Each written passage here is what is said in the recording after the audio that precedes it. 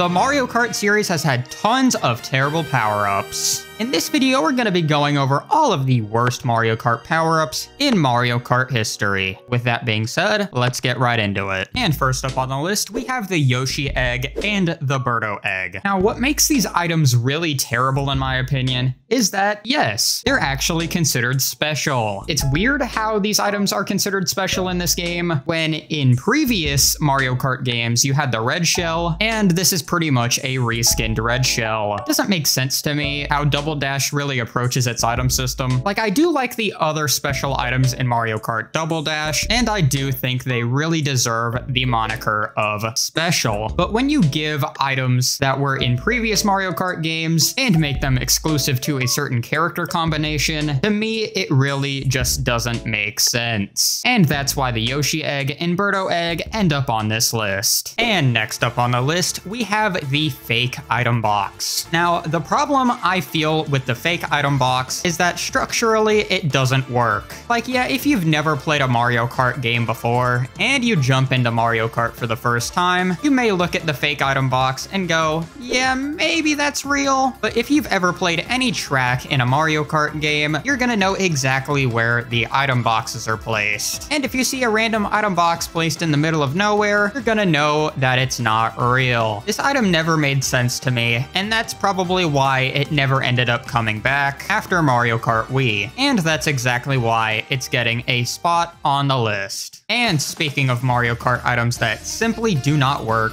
we have the Cape Feather. Now, the Cape Feather doesn't work because I feel all of the new Mario Kart tracks have been relatively dynamic in terms of verticality. Like, yeah, this item works perfectly well when all of the stages are perfectly flat. However, in a game like Mario Kart 64, the Cape Feather just wouldn't work. And I get what they were going for with the Mario Kart 8 Deluxe Cape Feather by making it exclusive to Battle Mode. However, in my opinion, opinion, I really just don't feel like the Cape Feather is really all that good of an item, even when you place it in battle mode, and that is why it gets a place on this list. To me, I find the Boo item extremely annoying. I find it annoying when I get the Boo item, because really at the end of the day, I don't know if I'm gonna get a good item or not, and being on the receiving end of a Boo item can be extremely devastating. Like, imagine you're about to block an item with another item, oh, a Boo just took it, and now I'm dead. Or, imagine I'm about to take a shortcut with a mushroom, and then all of a sudden, as I'm about to use a mushroom, a Boo just goes and takes it. Like, yes, I know the Boo item is a classic, and it's shown up in every Mario Kart game since Super Mario Kart. However, I really just don't like the Boo.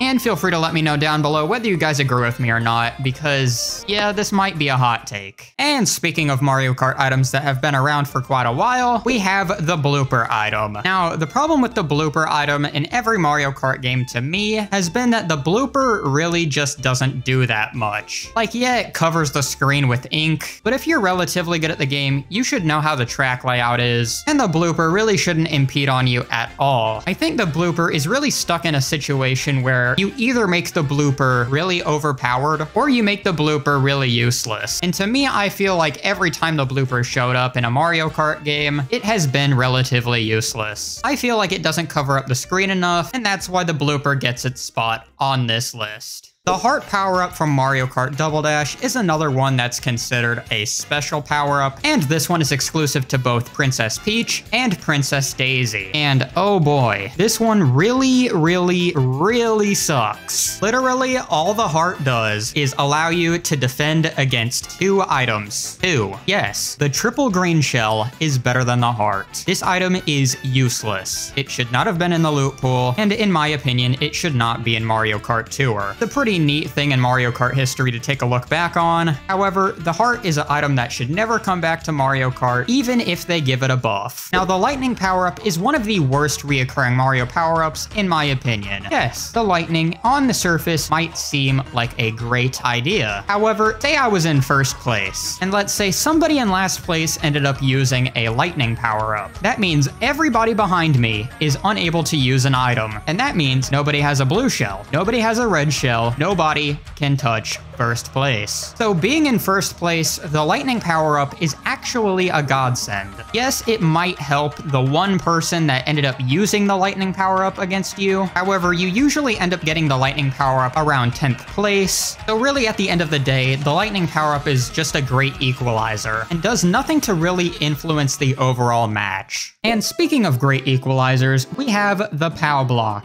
Pretty much like the lightning power up in terms of actual use. However, what this one does is it stuns you temporarily. And when you get stunned by the power block, you're also able to move forward a little bit too. So at the same time, you kind of keep your momentum a little bit. Really not as devastating as the lightning. And I feel like if they were going to put the power block in the game, they should have just outright replaced the lightning. I find this one to be a bit of a better idea than the lightning power up in my opinion, especially since your acceleration doesn't come to a complete stop. But the power block at the end of the day is pretty meh. And you knew this item was gonna be on the list. Yep, that's right, the coin. Now, I feel like the coin is one of the most controversial Mario Kart power-ups in Mario Kart history. However, to be fair, the coin actually does have some use. The coin very minimally upgrades your top speed, and I actually do enjoy having coins on the tracks, and making sure to go through and pick them up as I run out of coins. However, the problem comes in when you add them to the normal item pool. You go up to an item box expecting something good, and to me the coin shouldn't actually count as an item. Coin does nothing to affect other drivers, and that's really the whole point of a Mario Kart item. I mean, yes, you could say that about the mushrooms. However, the mushrooms at least give you a boost where you're able to do shortcuts, pass other drivers. There's a reason why you would want a mushroom. There is no reason why you would want a coin to show up in your Mario Kart match. Coins do get a major buff in Mario Kart Tour. However, if we're talking in terms of the mainline